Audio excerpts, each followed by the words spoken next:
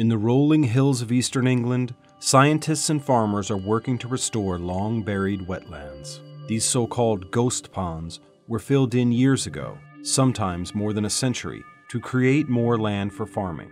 Others faded with neglect, becoming overgrown. Efforts to restore wetlands worldwide are driven by the idea that restoring ecosystems is vital to protecting species and will make farming more sustainable.